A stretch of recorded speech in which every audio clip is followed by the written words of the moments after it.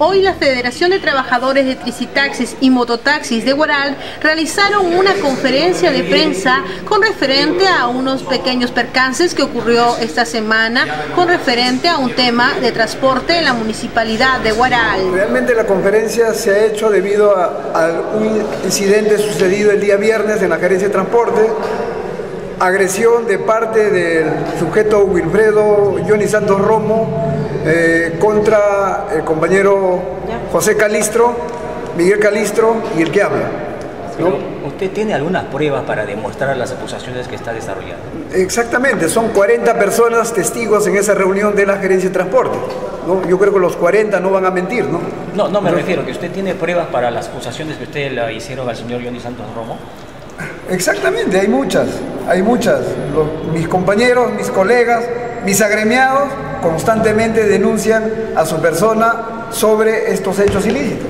Entonces, no tengo la menor duda en comprobar ello. La ordenanza 08 prácticamente es ilegal. Tiene vicios legales. Entonces, ¿por qué acepta ¿Ah? la constatación de características? Eh, en la ordenanza 08 no está la constatación, en la ordenanza 012. Nosotros en la ordenanza 012, a través de nuestro asesor técnico Manuel Álvarez Carrera, lo observemos en más de un 80%. Pero eso no quiere decir que la ordenanza es vigente. Y lo que es vigente hay que acatarla.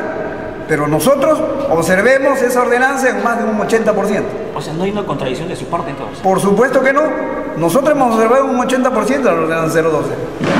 Y eso no quita de que nosotros no tenemos por qué decir que la ordenanza 012 es vigente. Es vigente. Más cuando realmente el permiso de operación es intransferible. Pero sin embargo, traficantes eh, pretenden de que cuando la ordenanza no valga, es que realmente la transferencia, eh, o sea, buscar que negociarla.